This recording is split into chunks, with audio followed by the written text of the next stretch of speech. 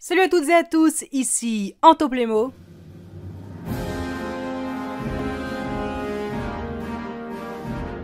Aujourd'hui, on continue dans la série des voitures avec cette Volkswagen Coccinelle.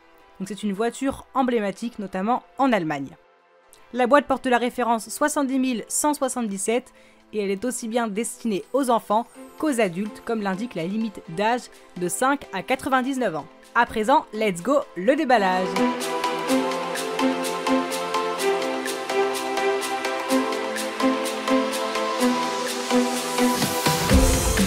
On commence avec nos trois personnages. On a un homme au style hippie avec ses belles lunettes de soleil et sa veste colorée. Ensuite, une femme en tenue estivale avec sa petite queue de cheval. Et on termine avec un enfant en sandales avec une demi-casquette verte sur la tête.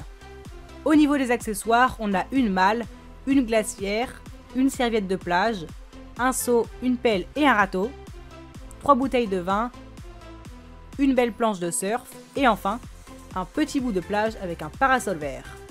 Ce qui nous fait pas mal d'accessoires pour une boîte de voiture. Et justement, la voici cette voiture avec sa belle couleur bleu ciel. À l'avant, on retrouve de beaux phares, le logo Volkswagen, la plaque d'immatriculation où l'on voit, comme d'habitude, la date de sortie ainsi que la référence. C'est dommage que le pare-choc ne soit pas chromé et que les phares du dessus ne soient pas très réalistes puisqu'ils sont juste marqués par une tache de couleur rouge et euh, non pas en moule en plastique. Sur le côté, on découvre de très beaux enjoliveurs tout ronds. A noter que les rétroviseurs sont très très durs à enfoncer sans les tordre. À l'arrière, on retrouve un pare-choc toujours pas chromé, des phares cette fois-ci plus réalistes et un coffre que l'on peut ouvrir pour découvrir le moteur. C'est le genre de détail que j'aime voir chez Playmobil. Sur le dessus, on a une belle cage de toit qui nous permet de mettre tous nos petits bagages et même la planche de surf.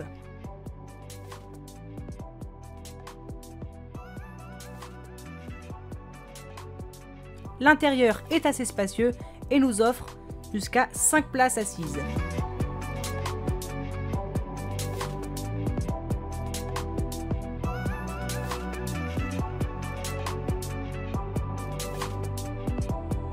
A noter que le dessous de la voiture est lui aussi bien détaillé.